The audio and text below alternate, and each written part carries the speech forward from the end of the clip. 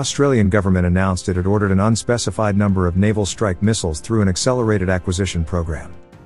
The Norwegian defense company, Kongsberg Defence and Aerospace will manufacture and supply the missiles that will be used from the Anzac class frigates and Hobart class destroyers of the Royal Australian Navy. The contract was worth 48 million US dollars. Naval Strike Missiles is a fifth generation long range precision strike missile that uses composite materials meant to give them stealth capabilities. Weighing slightly more than 400 kilograms and a range of 185 kilometers, the missile will be able to fly over and around landmasses, travel in sea skim mode, and then make random maneuvers in the terminal phase, making it harder to stop by enemy countermeasures. The General Electric T901 improved turbine engine finished first engine to test requirements. This engine will be used by Sikorsky Raider X that are in race for the future attack reconnaissance aircraft. The U.S. Army in 2020 has narrowed its future rotary aircraft choices to the Bell 360 Invictus and the Sikorsky Raider X. In March 2020, the designs from Bell and Sikorsky were selected to proceed to phase 2 of the competition, and this phase will end with a government flight test evaluation no later than 2023.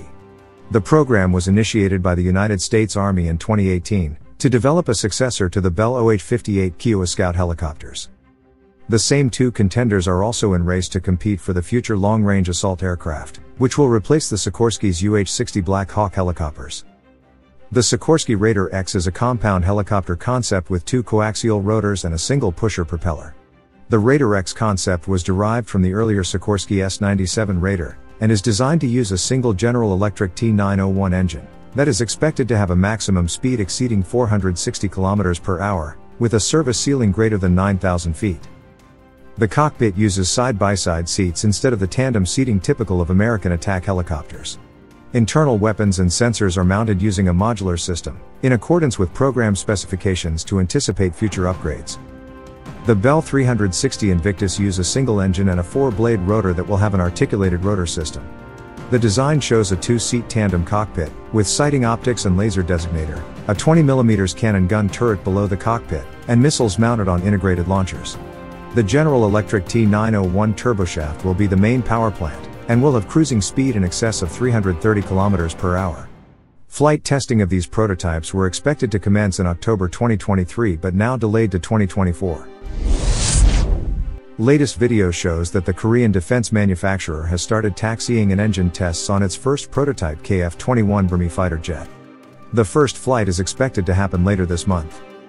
Korea Aerospace Industries rolled out the first prototype aircraft under development for the Korean Fighter E experimental program, which aims to develop a multi-role platform that will replace the Republic of Korea Air Force's aging F-4 Phantom II and F-5 Tiger II aircraft. The Korean Air Force is expected to acquire 40 KF-21s by 2028 and another 80 aircraft by 2032. The KF-21 Boramae is a South Korean 4.5 generation fighter aircraft development program that aims to produce an advanced multi-role fighter for the South Korean and Indonesian air forces. The airframe is stealthier than any fourth generation fighters, but does not carry weapons in internal bays like fifth generation fighters, though internal bays may be introduced later in development. The twin-engine prototype was officially unveiled in April 2021, is powered by two General Electric F414 GE400K engines, is expected to have a maximum takeoff weight of 56,300 pounds with a payload capacity nearly up to 17,000 pounds. The first prototype is designated as Aircraft 1, is scheduled for maiden flight in 2022 following ground testing. The aircraft will feature three hardpoints under each wing for weapons and external fuel stores, while missiles can also be externally carried under the fuselage. Production is expected to commence from 2026, with full rate production following from 2028. Agency for Defense Development, and Hanwha Systems will locally develop an AESA radar, which will be capable of detecting and tracking more than 1,000 targets simultaneously. Hanwha Systems will also supply an electro-optical targeting pod and an infrared search and track system. The aircraft will also feature terrain following and avoidance systems from Israel's Elbit Systems, and several critical systems from Collins Aerospace, including its environmental control system, which comprise air conditioning, cabin pressurization and liquid cooling systems, as well as engine start components. It will be armed with a range of European and US made weapons, with planned integration of systems such as the Diehl Defense Iris T short range air to air missile, and MBDA Meteor Beyond Visual Range Air to Air Missile, Raytheon's laser guided Paveway 2 bombs, as well as several direct attack munitions. Indonesia is the only foreign partner in the KFX development program, which is known as the Indonesian Fighter E Experimental Program, and had earlier committed to paying 20% of total development costs, although it has reportedly fallen behind on payments and is renegotiating its position.